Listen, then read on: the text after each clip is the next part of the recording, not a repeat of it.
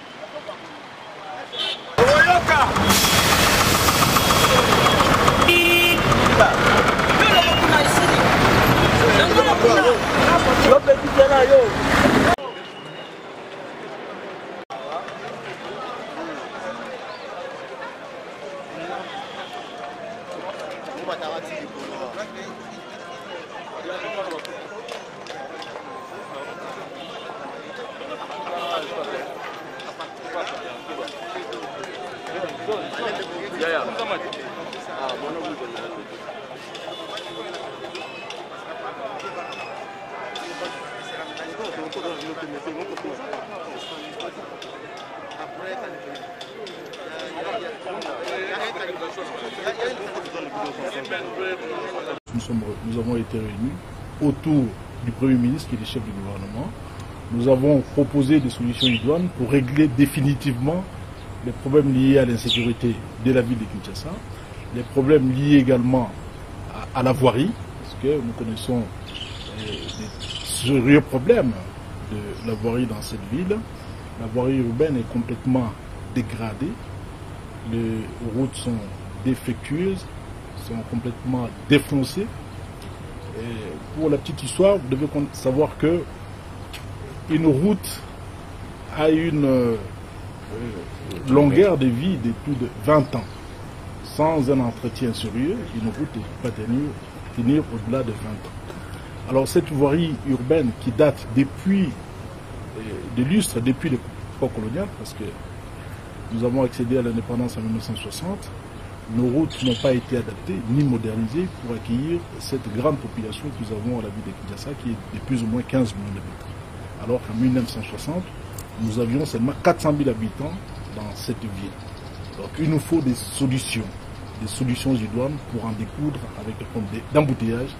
avec des problèmes de mobilité dans cette ville. Nous avons soulevé, notamment des solutions comme les trains urbains, pour régler définitivement le problème de mobilité dans la ville.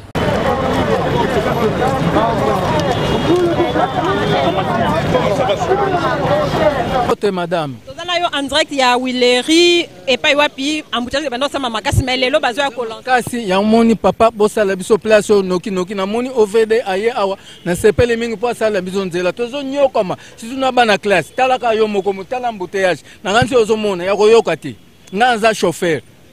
en tout cas bosala makasi gouvernement asala makasi mpo na nzela oyo nakosepela mingi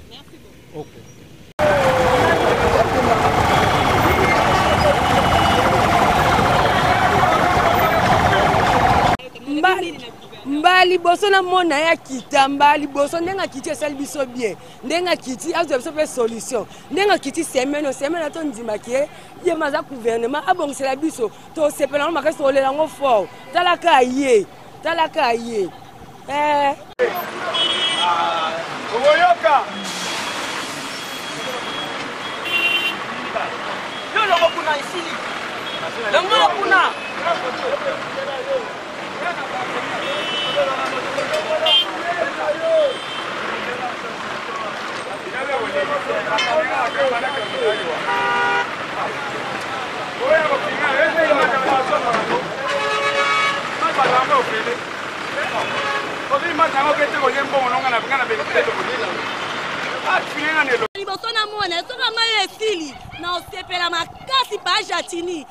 silisa biso kaka ebale mbonge oyo oh, ebale mbonge fleuve fleuve congo pa jatini talela biso likambo oyo te pa jatini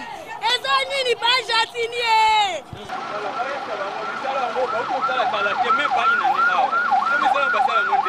silisi awa ke suku te mosusu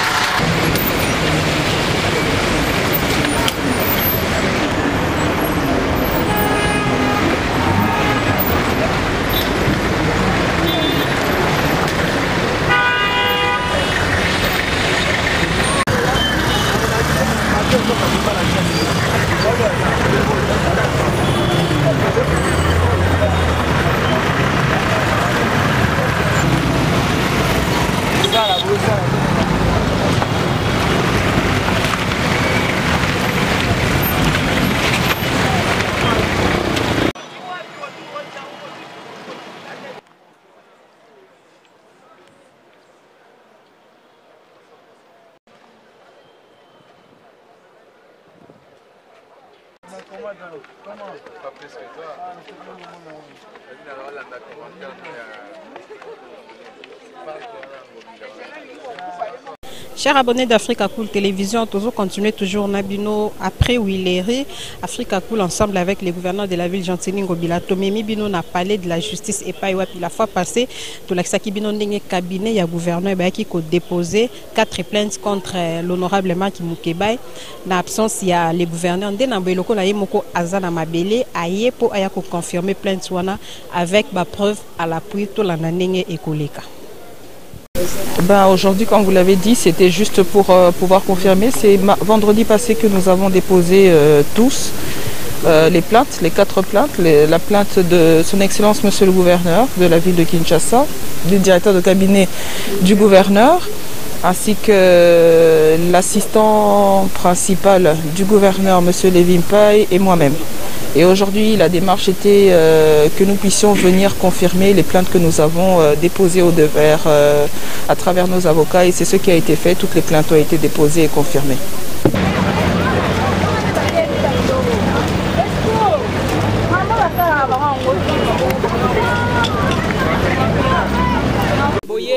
tomoni bino ndeko mwasi boye ebele awa na palais de justice tomoni bosimbi mpe bapapie na maboko boye mpo na nini boye kosala nini boza banani nayoki kanda makasi mpo bafingi ndeko na ngai ya mwasi nde esali ngai mpasi makasi ndenge bafingi ye bafinga biso nyonso bafingaka mpe bamesana kofinga nde yango naye kodeklare batika kofinga bamama mama oyo afingi lelo aza lokola mama na ye akontinue atika soki asalaka yango atika atika ezala na liboso na ya suka mpo na mama atika kofinga mama na nga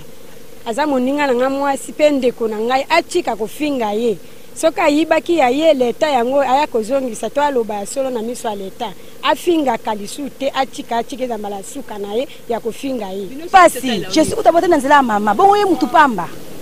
ifa respecte bamama fa respecte bamama mama baza bamama nzela ya mama nde aza na mokili oyo akangela biso ye so akangi ye arespecte bamama omoni so bakangi ye bato nyonso bazala mayele bakorespecte bamama makasi mpo mboka na biso etamba na droit te bakangela biso ye bon eloko biso toyei koreklame awa na justice po mingi mingi bazo respecter droit de la femme te bakomi kofinga biso basi ke avant tozwa bokonzi na biso ifo tomipesa na mbeto en tout cas esepelisi ye biso te c'est pour cela yango toye kodeklare eza bien te fo bapesa biso mpe droit na biso il faut barespecte biso mpe na baordre na biso c'est pour cela yango toye koreklame euh, non toza kaka bamama tolandaki bainformation c'est pour cela yango toye mpe kosangana na mama na biso mpe toye kolobela ye kozala lisanga yango esali biso nyonso tozalaka esika moko c'est pour cela yango toyei kolanda ye totya mpe mwa maloba na biso na kati eh, tolobela mpe parti ya membre ya justice elobelela biso etelela biso na likambo mpo baorespecte basi te na kati ya mboka Afrika cool eya bena cool Afrika cool oya bena cool lokola cool matopi oya cool chaîne na biso Afrika cool en tout cas euh, eza chaîne ya bien et puis boza très rapide eh, eza très rapide eza chaîne moko bakosala bino confiance en tout cas nazosenga na bato oyo nanu basubscrire te bazwa donc eza vraiment neti oyo balobaka ke buka lelo lamba lelo lia lelo donc eh, eza kitoko nasepeli na bino nasengi na bato nyonso bosouscrire ebele ebele ebele bokozala desu te Africa Cool, c'est la destination de prédilection pour une communication optimale. Longo Dianabino Maman. Merci beaucoup. Vous voulez les Congo pour que le Congo devienne cool, poursuivre les cool analyses, alors revenez et abonnez-vous massivement. Massivement. Africa Cool.